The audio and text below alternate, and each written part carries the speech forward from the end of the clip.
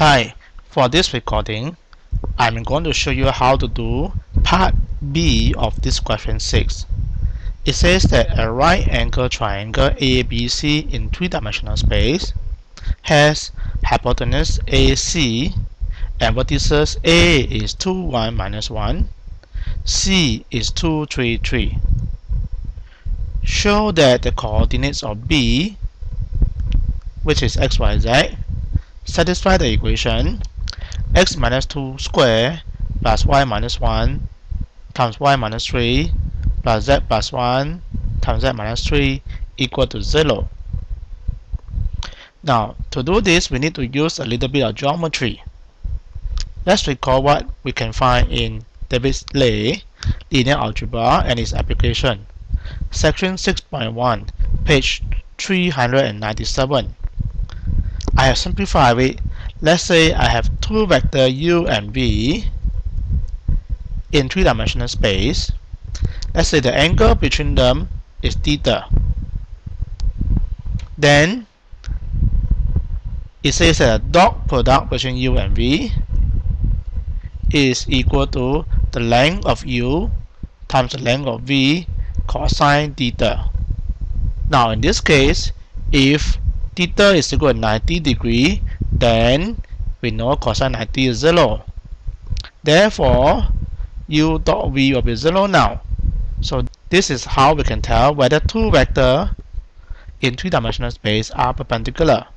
This is a part on the geometry. There is also another algebraic approach of dot product, which you can find in David Lay's page 391.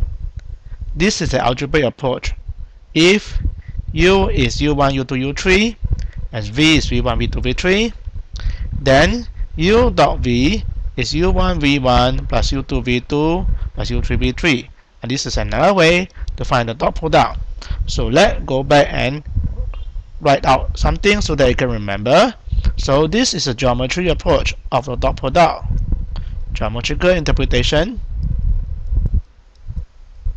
for a dot product whereas the on the next page u dot v and this will give you the algebraic interpretation of the product.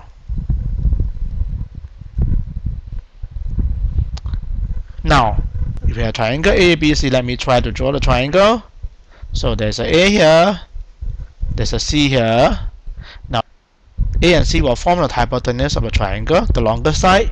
There is a B somewhere here. Let's say the coordinate is x, y, z, where the coordinate of A is 2, 1, minus 1, and coordinate of C is 2, 3, 3. We are given that for this triangle ABC this triangle is a right angle triangle. So the angle B must be a right angle.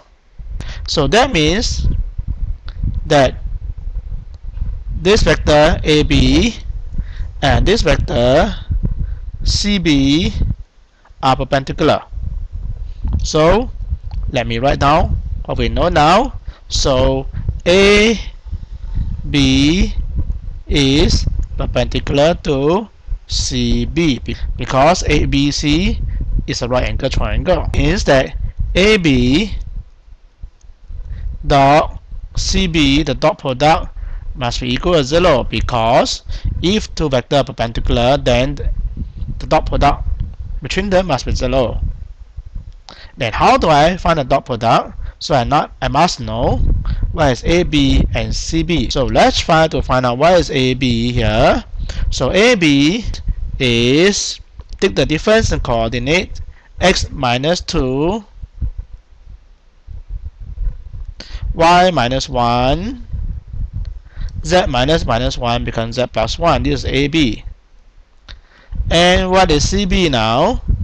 CB take the difference between coordinate of C and B. So take B minus C now the end point minus beginning point. Take B minus C now the end point is B initial point C so x minus 2 y minus 3 and z minus 3. Using the algebraic approach now, I will have to find the dot product I should get x minus 2 multiplied with x minus 2 so this will give me x minus 2 times x minus 2 plus another one. Y minus 1 multiplied by y minus 3 so this will give me y minus 1 multiplied by y minus 3 plus z plus 1 times z minus 3 so I'll get multiply plus z plus 1 z minus 3 must give me 0 this is how you find the dot product. So the dot product is given by this expression.